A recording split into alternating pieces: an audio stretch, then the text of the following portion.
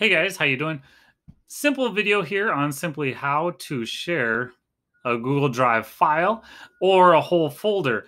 Now, maybe you've been sharing with your colleagues or friends, but now we're going to need to teach our students as well, maybe because they're using uh, Edgenuity and they need to upload a file to you. So, since they own the file, you're not going to be able to see it if they're uploading it straight to Edgenuity. So, you could teach your students how to create a file or a folder to share, I would say that would be the easiest thing to do. So let's first check out a file. If you want to share a file, all you have to do is just click on the file or right click on the file.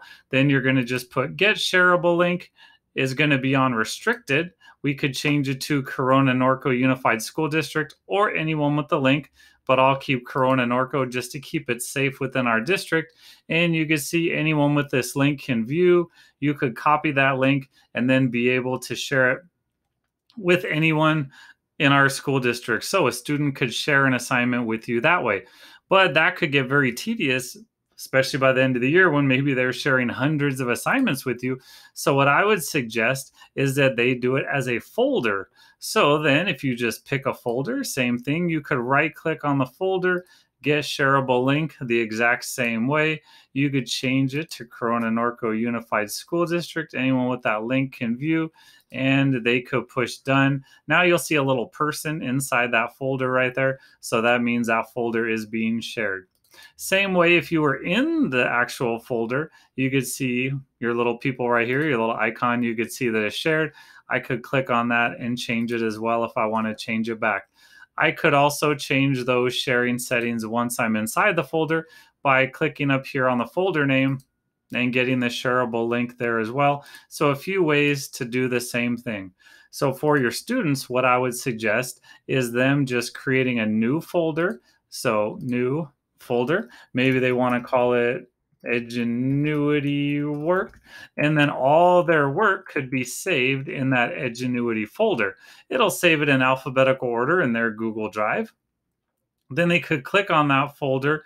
But first, I'll share that folder with anyone with the link on that folder will be able to access, and that would work or they could simply share it just directly with you to keep the work safe just for you. They could click share up here and then they could share with just to you. So when they type in, you know, your email address, then they will be able to share it. So we could, let's say, share with a colleague and then type in their whole email address and share it then that'll be shared with that one person.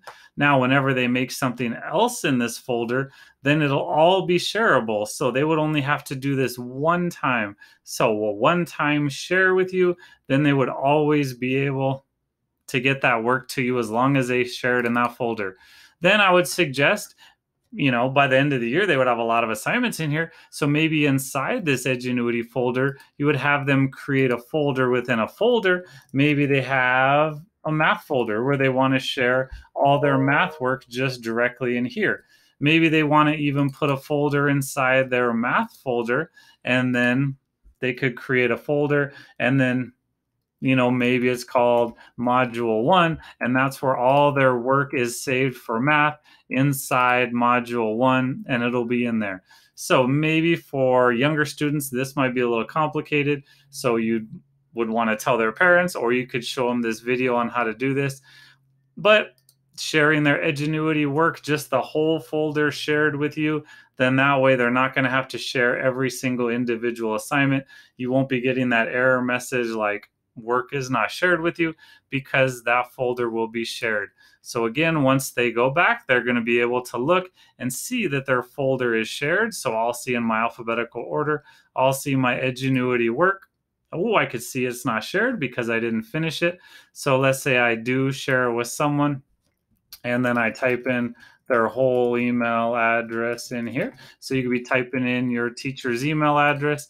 It'll pop on up. You could notify people and even right in here, I've shared my folder with you. It's showing which folder is going to be everything in there. And you could have your teacher as an editor or a viewer. Editor means they'd be able to edit your work. Viewer means they would just be able to look at your work. Either one should be fine.